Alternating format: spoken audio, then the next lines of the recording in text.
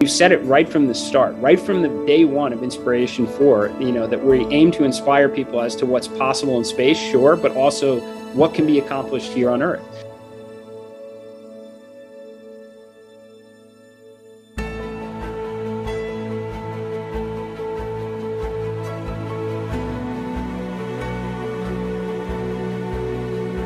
Our mission is pushing you know we're going to have so many firsts with our mission um, and i think it's just going to inspire people to um, kind of no matter their background to um, to dream and to not limit themselves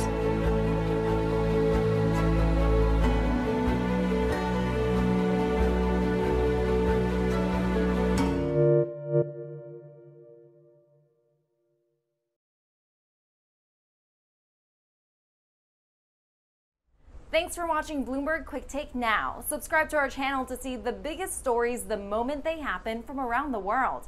And tune in to our 24 7 live stream for global news coverage, interviews, deep dives, shows, and documentaries on the stories you care about most.